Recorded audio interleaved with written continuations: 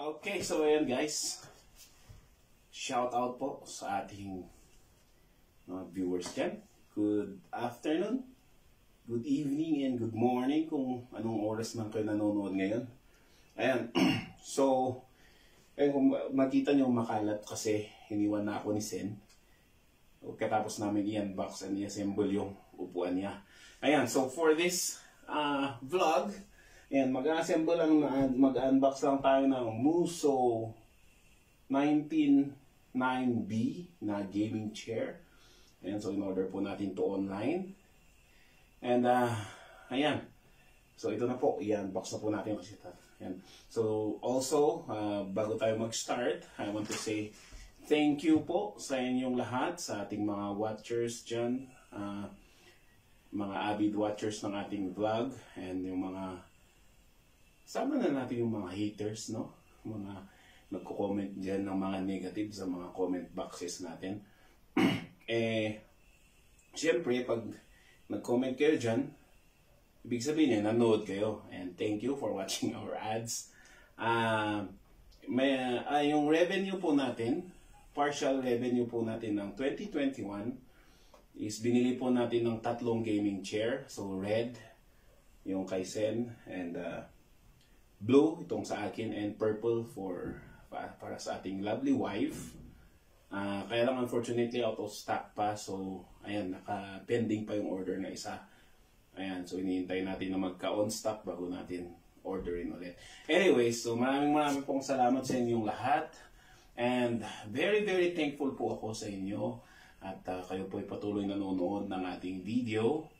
And kayo po ay patuloy na sinusuportahan ng ating ah, um, ang ating mga advocacy support local, mga ano natin dyan, ayan, to promote lahat ng mga videos natin. Maraming maraming salamat.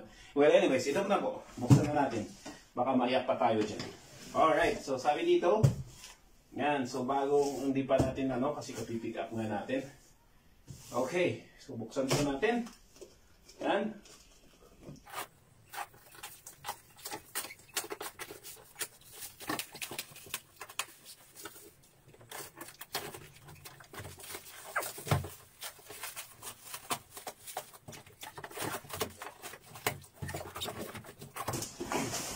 Habang nilalabas na lang is na-assemble na.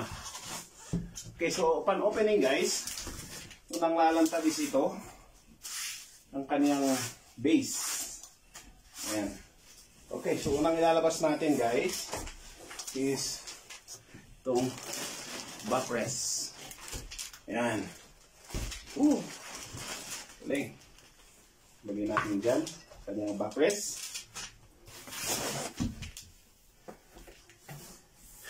Then, itong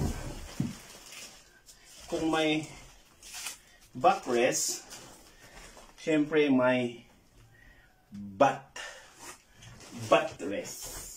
Ayan. Okay? Syempre may unan ulit. Ayan. Okay. So, yun na po yun. Then, syempre, left armrest, right armrest. Okay? Then of course, yung kanyang accessories. So, dito lahat yung hydraulics. Hydraulics. Um,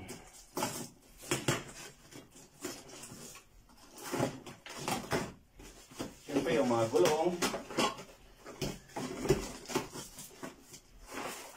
Ayan. Ayan. So, meron din ulit tayong set of screws dito. Ayan. Ah, cover ni Don. Ito yung hydraulics. Ito yung gulong. Ito yung plate front plate. Ba tawag dito? Hindi ko alam. Anyway, ayan. Okay? So, first step natin, syempre, buksan natin itong ayan. Buksan natin yan. Ba?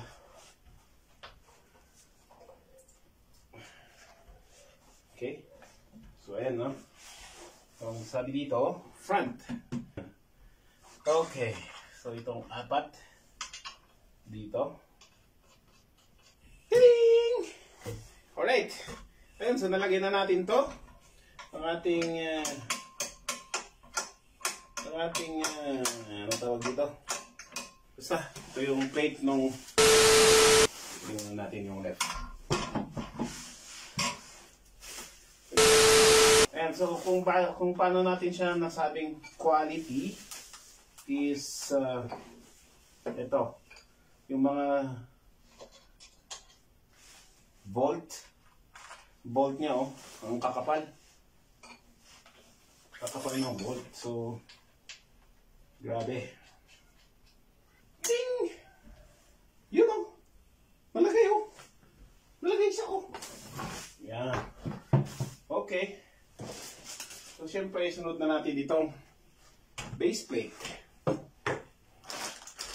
Syempre, itong base plate niya may gulong. Of course. Mhm. Ayan. And then, of course, itong kanyang hydraulics. Okay.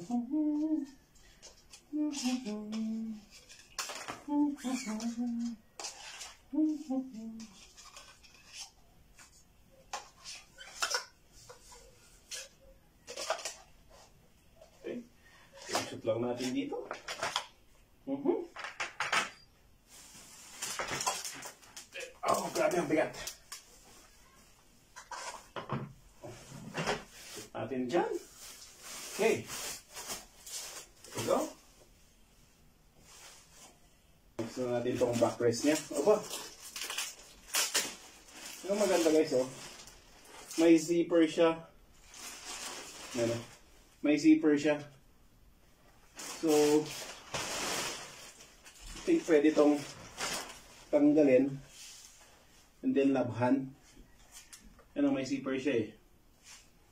Yan. Lagay muna natin.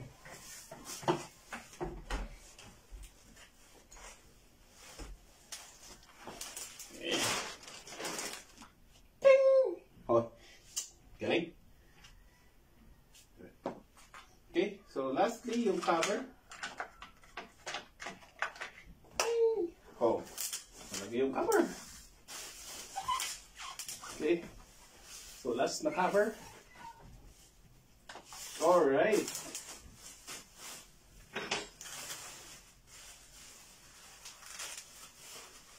Tigilin natin to.